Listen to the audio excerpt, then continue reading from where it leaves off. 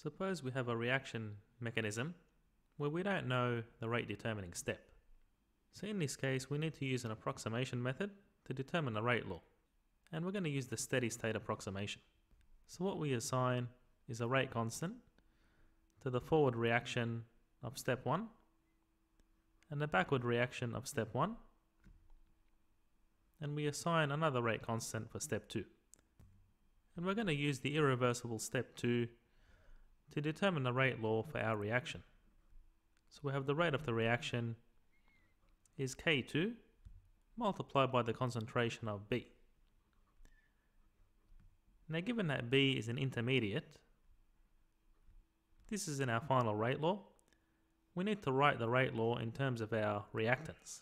So what we do, in using the steady state approximation, is take the rate of change of the concentration of B over time is equal to zero. So this means that the rate at which B is consumed is equal to the rate at which it's produced. So effectively, in step one, B is being produced in the forward reaction. So what we have is K1F multiplied by the concentration of A squared. And in the backward phase of this equilibrium reaction, B is being consumed. So we have minus K1B multiplied by the concentration of B. And in the second step, B is being consumed to produce C.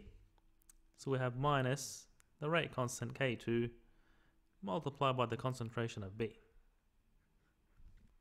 And now we can solve this equation for B. So if we subtract the first term from both sides and multiply through by negative 1, what we get is K1F by the concentration of A all squared is equal to K1b plus K2 and that's multiplied by the concentration of B. And then if we divide through by this sum, what we get is the concentration of B is equal to K1F over K1B plus K2 by the concentration of a squared. And now if we substitute for b in our rate law, well, what we get is k2 multiplied by k1f over k1b plus k2 and that's all multiplied by the concentration of A squared.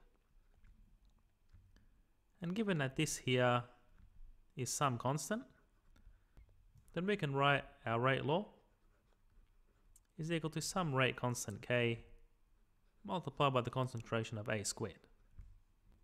And I'll see you in the next video.